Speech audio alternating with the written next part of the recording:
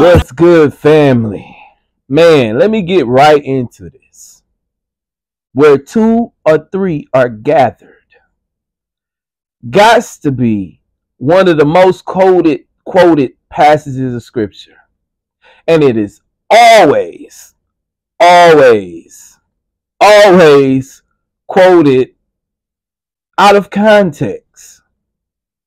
That text is not talking about church attendance. It's not talking about church attendance. It's not a text that you use to excuse you going to church. So on this page, on this channel, we let the Bible preach and teach God's people.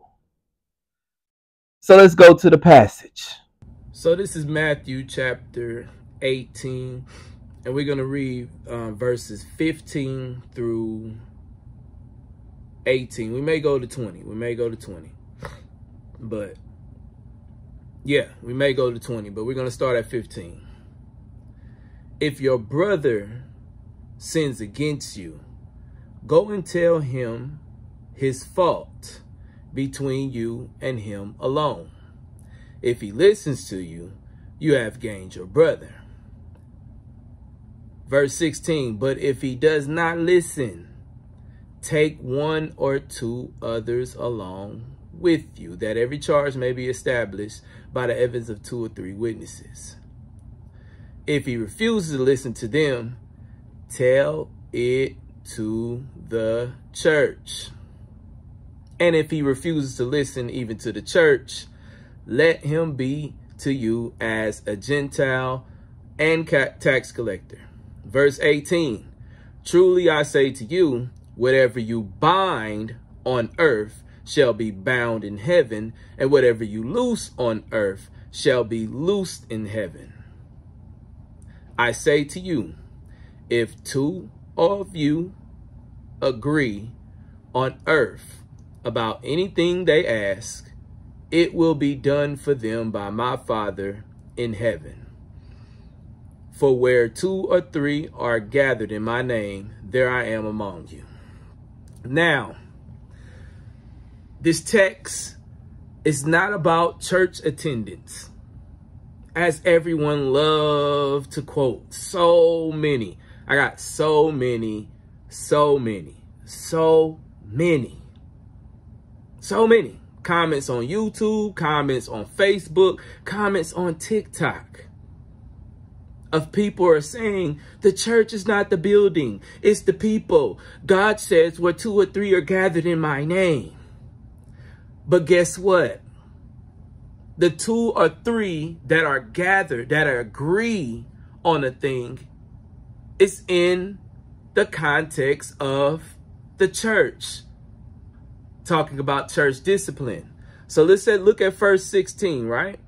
But if the he doesn't listen, the offender doesn't listen, the text says take two others along with you.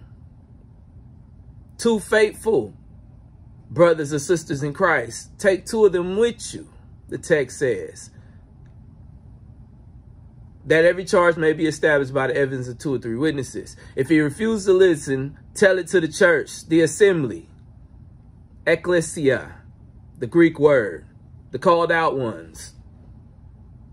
It says, tell it to the church. And if he refuses to listen to the church, let him be to you as a Gentile or a tax collector and a tax collector. Truly, I say to you, whatever you bind, that Greek word right there is forbid Dale, whatever you bind on earth shall be bound in heaven, and whatever you loose, permit, that Greek word is permit, loose on earth shall be loosed in heaven. Again, I say to you, if two of you agree on earth about a, about anything they ask, it will be done for them by my Father in heaven. For where two or three are gathered in my name, there I am in the midst. That two or three that two or three, it's in the context of the church, the assembly, This is not about church attendance that everyone loves to quote, everyone loves to throw out there. That two or three that are gathered, that are agreeing on the thing, if two of you agree, on earth. Verse 16, because of the brother or the sister didn't want to listen, one or two brothers, right? Why does it say take one or two? Because the offendee is the one, the one that got sinned against, that's the third person. This text is not talking about church attend attendance, people. This right here, this passage of scripture is quoted just like the judge not. It's always out of context. This is church discipline. If a, if someone sins against you, go tell them in private. Tell them his fault. You, so the whole goal here is to win the brother, not to win the argument, but to win the brother or sister.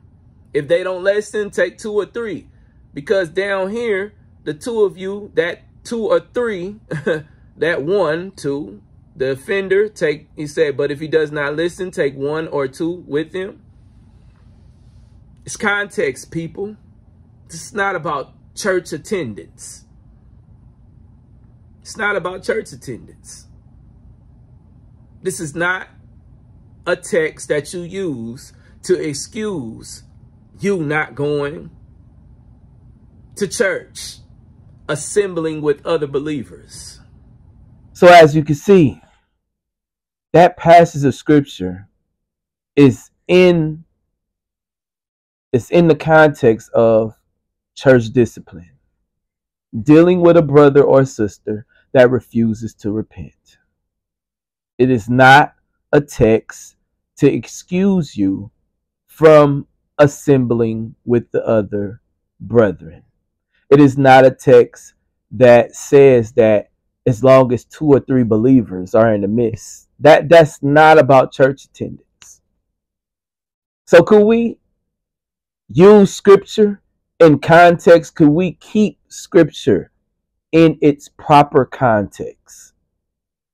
I guarantee you, I know there's to be somebody or some people that still want to use that passage of scripture to excuse themselves or to justify why they don't go to church. But on this page, like I said before, we let the Bible preach and teach God's people. And regardless of how anyone feels, what anyone says. That passage of scripture belongs in its proper context.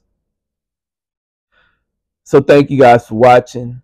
Don't forget to like, comment, and subscribe. Grace and peace. Before you go, go ahead and subscribe yeah. to my channel. Hit the bell icon so you get all the new notifications. Grace and peace.